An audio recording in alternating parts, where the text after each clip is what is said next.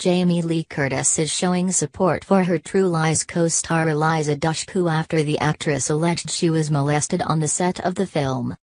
The star, who played Dushku's mother in the 1994 action thriller, is praising the 37-year-old for coming forward with claims that Hollywood stuntman Joel Kramer assaulted her during production when she was just 12.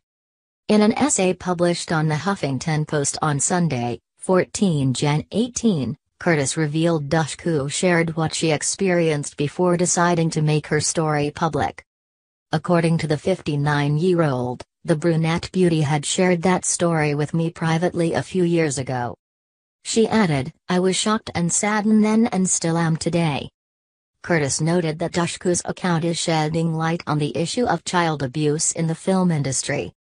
Eliza's story has now awakened us from our denial slumber to a new, horrific reality, she said. The abuse of children. The truth will set us all free, that freedom will bring a new ability to call out abuse and, when that abuse occurs, to have swift and consistent action, so that no one again will have to wait 25 years for their truth to be heard.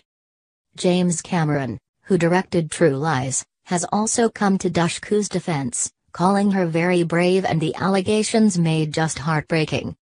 Dushku made her claims public in a Facebook post on Saturday, in which she shared how the then 36 year old Kramer lured her to his hotel room and sexually assaulted her.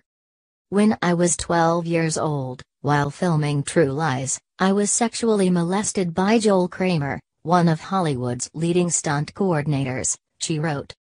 Ever since, I have struggled with how and when to disclose this, if ever. At the time, I shared what happened to me with my parents, two adult friends, and one of my older brothers. No one seemed ready to confront this taboo subject then, nor was I. Kramer has denied all allegations of sexual misconduct, calling Dushku's accusations vile lies in a statement to Us Weekly. Despite his claim, the Hollywood Reporter notes he has been dropped by his agency Worldwide Production Agency.